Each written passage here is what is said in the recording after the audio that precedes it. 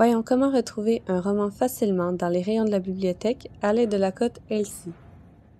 La première étape est de suivre le carton sur chaque rangée et vous le guideront vers le livre recherché. Par exemple, je cherche le livre ayant la cote commençant par PS 83 et finissant par 2014. Comme vous pouvez voir, il est inscrit de quelle cote à quelle cote le livre se trouve. Maintenant que vous savez dans quelle rangée regarder, vous pouvez rechercher votre livre en suivant l'ordre alphabétique et numérique de chaque cote. Par exemple, ici on peut voir que la cote commence à différer à partir de la date. Donc on a 2008, ensuite 2013 et 2018. Nous allons maintenant chercher notre livre en regardant attentivement chaque cote. Et voilà, j'ai retrouvé mon livre.